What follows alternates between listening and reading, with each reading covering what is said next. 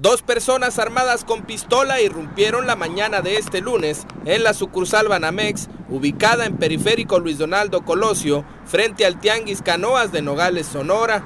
De acuerdo a las primeras indagatorias, los asaltantes ingresaron como cualquier cliente para una vez ingresando, atacaran una de las cajas de donde se llevaron alrededor de 15 mil pesos. Asimismo, atracaron a un cliente, a quien despojaron de alrededor de 13 mil pesos.